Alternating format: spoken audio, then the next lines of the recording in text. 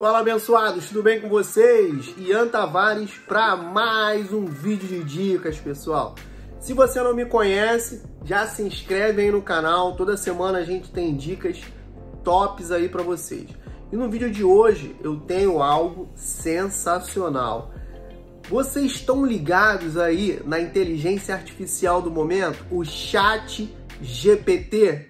Então, eu vou mostrar para vocês uma inteligência artificial que também tem dado o que falar.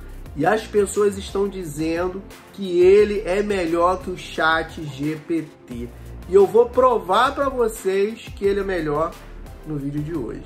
Então, sem mais demoras, senta o dedo aí no like e vamos direto pro vídeo. Vem comigo!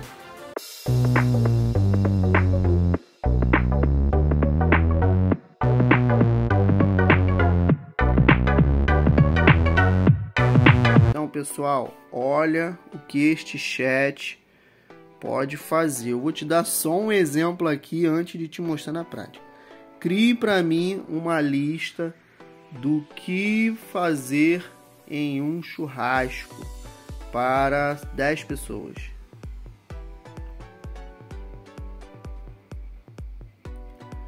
Ele vai começar a calcular. Procurando por lista do Olha que fazer só, em um churrasco pessoal. Para 10 pessoas.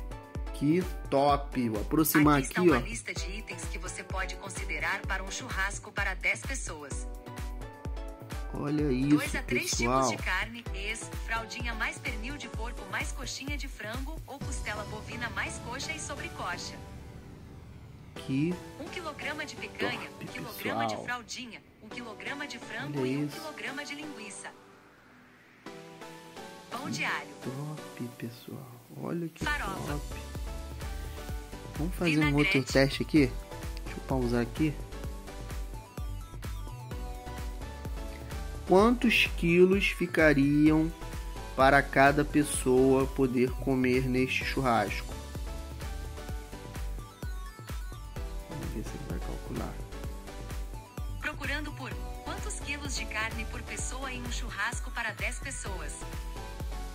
Olha, a média geral top. é de 400 gramas de carne por adulto e 200 gramas para crianças entre 6 e 11 anos.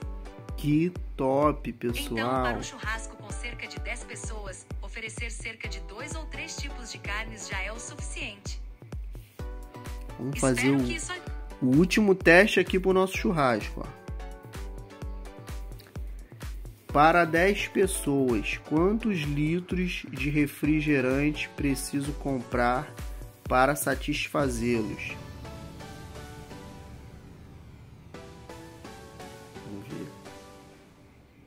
Procurando por quantos litros de refrigerante para 10 pessoas? A quantidade de refrigerante por pessoa depende de fatores como a presença de outras bebidas, o tempo de festa, sabor do refrigerante e o tipo de público. Olha que legal. Uma média geral é de 600 mililitros de refrigerante por pessoa. Que um refrigerante top. de 2 litros pode servir de 3 a 5 pessoas. Deixa eu pausar aqui. Então, pessoal, esse é um exemplo do que esse chat pode fazer. Top demais, gratuito. O Bing, que é o dispositivo da Microsoft de inteligência artificial que veio para ficar. E como você vai instalar esse aplicativo? Ele é bem simples, ó. Você vai vir aqui, ó, na Apple Store, tá? Vai clicar aqui na barrinha de pesquisa e vai escrever Bing. Se você não conhece esse aplicativo, instala ele para você poder conhecer ele melhor. Eu vou abrir aqui, tá? Que eu já fiz o download. E a primeira página do Bing é essa aqui, ó. Aqui tem pesquisas na URL, leitor, tá? De QR Code, um microfone para você tá é, se comunicando com o Bing através da sua voz notícias aqui embaixo, ó, esportes, papéis de parede, ó, as últimas notícias, tá? Mas o que nós queremos é a inteligência artificial, o chat. Você vai clicar aqui, ó, na bolinha. Aqui nessa, nessa partezinha de cima já tá o meu login, ó. Tá o meu e-mail. Mas vai pedir para você logar com numa conta sua da Microsoft. Pode ser qualquer uma. Tá OK? Você vai estar tá logando na sua conta e você vai clicar aqui, ó, neste balãozinho aqui embaixo, ó. Aqui nesse balãozinho é onde você vai utilizar a inteligência artificial. Aqui tem as últimas pesquisas que nós acabamos de fazer sobre o churrasco. Se eu clicar nessa vassourinha aqui, ele vai limpar todo esse conteúdo, ó, limpou e vai deixar novamente o chat bem novinho para a gente poder utilizar. Aqui ao lado tem o botão de teclado, tá? Aqui onde você pode escrever, ó, pergunte-me qualquer coisa. Como foi dito, é um programa de um aplicativo de inteligência artificial que ele responde perguntas, ele é bem interativo, como se fosse realmente um chat, tá? Aqui embaixo, nessas três opções aqui, ó, nós temos escolha um estilo de conversa. Como é um chat, pessoal, então a, a tendência é que ele te responda da forma mais natural possível e você pode escolher o tipo de conversa que você quer ter com o chat, ó. Uma conversa mais criativa. Ó, sejamos criativos. Você tem um tópico em mente ou devemos improvisar? Então, é, vamos dizer que eu quero criar um roteiro para o meu vídeo no YouTube. Vamos fazer um teste dessa parte mais criativa. Então vamos lá, ó. Crie para mim é, um roteiro para o meu vídeo no YouTube em tópicos, onde o tema é falando sobre o aplicativo do Bing. Vamos ver o que ele vai criar para nós. Procurando por Bing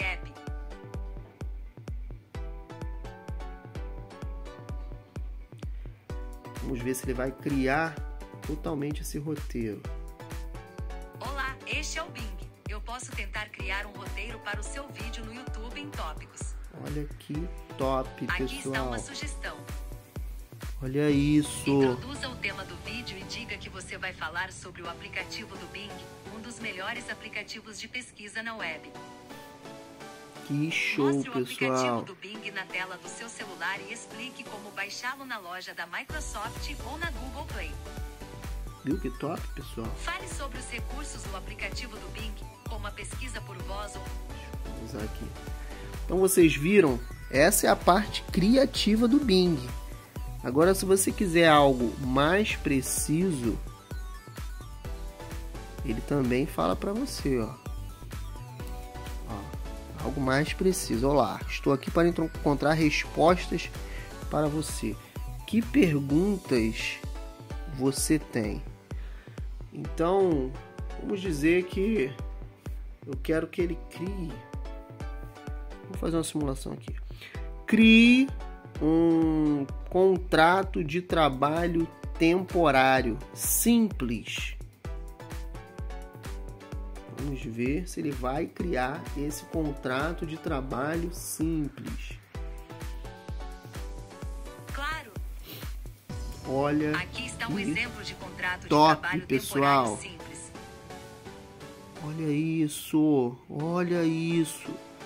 Ele criando um contrato de trabalho temporário e um contrato simples, ó. Contrato de trabalho Cláusula temporário. primeira, falando sobre o empregador, presente cláusula segunda, falando sobre o empregado. um lado, o empregador, Olha que top, endereço, pessoal. escrito no CNPJ sob o número. Número doravante denominado empregador. E de outro lado, o Olha nome do que empregado, show. nacionalidade, estado civil, profissão, portador da cédula de identidade e RG número. Vou tirar aqui, pessoal, porque isso é longo demais.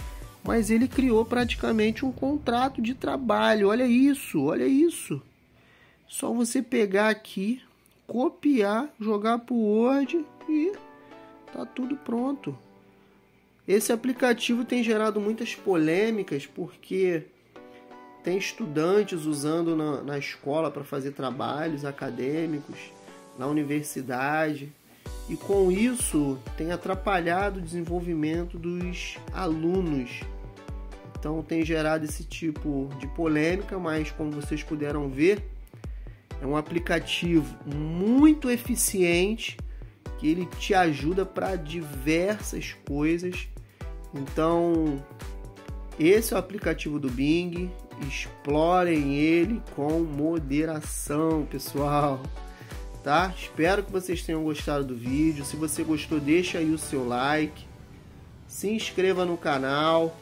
Pessoal, compartilhe esse vídeo com outras pessoas.